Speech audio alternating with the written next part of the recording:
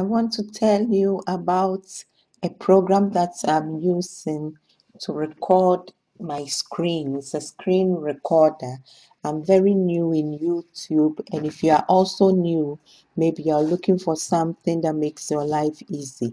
Well, what I've been using, which I think is very easy to use, is Flashback Express. Where can you get it from? You can get it from this link here. I'll put a link in the description box below. But you can just go ahead and write the name in Google, the name being Flashback Express. So if you write in Google Flashback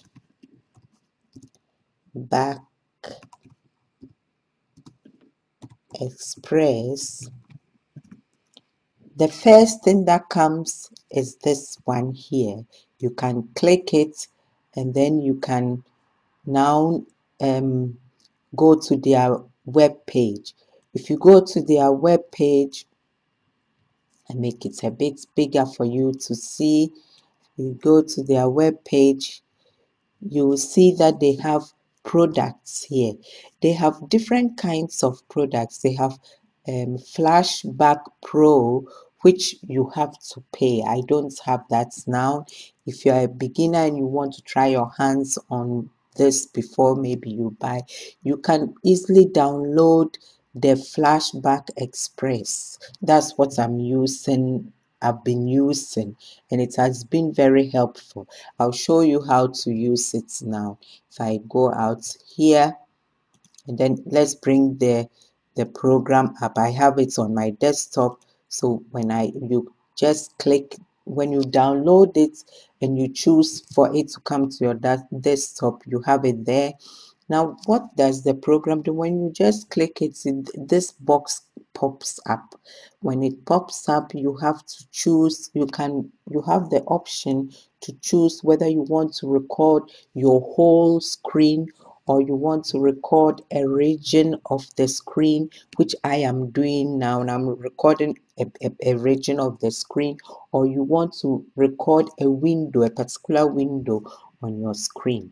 Now, if you, after you have chosen that, like I have chosen region, you have to check whether the microphone this is ticked because you want if you will be speaking you would want people to hear you so if you take it then you can there's an option here you can select which kind of microphone you want to use. If you if you've connected a, a microphone to your computer it will definitely appear here. And then if you want to record your pc sound you can press here. If you want to record using a webcam you need to press this one. Now after that all you have to do is if for example if you choose i i have chosen here a recorder region. So let's see how this will work out. You just press record. Take some time. When when you press it you see that a box will show up. The box you you can minimize the size of the box or you can increase the size of a box to fit which a uh, section you want to record. And then you can also change this you can also use change the size here. If you want it to be like if you want something different you can look at the options here and choose one. Whatever is best for you you, you choose it and then you can change the width or the height depending as you change it this box will be changing. So you can play around with this to know what you want.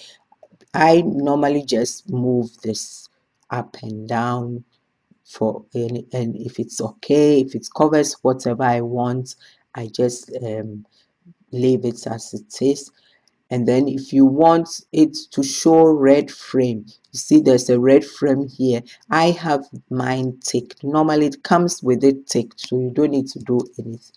I mean it's a good thing. It makes you it makes it easier for us to see where the boundaries of the box is.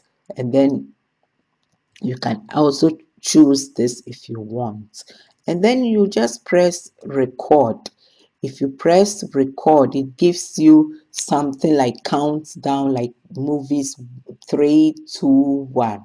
And now it starts recording what you want to record. If you finish recording you can be using your mouse to um, move up and down. You will see that when you finish recording the the mouse you can see where the mouse was and everything.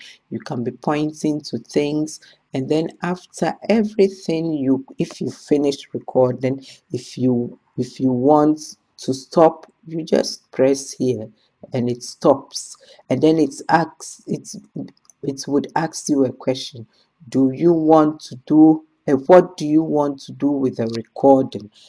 If you want to discard it you just discard it and do another thing again. If you want to review it you can but and if you want to save it you just press save and then it takes you to where you want to save it and then you just save it. Well let's see how it's done. Now let's see here. I've pressed save. So if I press save, it took me to some place in my directory. You can go around and choose whichever directory you want to save your file to. And then if you, let's say I save this, you can change the name here if you want the name, for example, try or whatever you choose, then you save. When you save it, it's in a different format. Normally you want the uh, your files to be in maybe pd uh, and mp4 so you can go here and press um let's look here. You can go here and press export if you want to if you want to export it to um and then you have these options. You can choose whichever you want. If you want windows media video option or you want AVI or you want um, MP4. I normally choose MP4 because I load mostly on YouTube. I just started my YouTube channel and I think this works perfectly for me. And then I just click OK and then it just saves it and that's it. I think it's a very good program. I would uh, it's easy to use if you need more um, things like you want you need something to edit your program or anything like that then you can also go for pay a bit and then go for their pro version. But for me for now and i'm just using the the express but i think it's a very stable good program okay.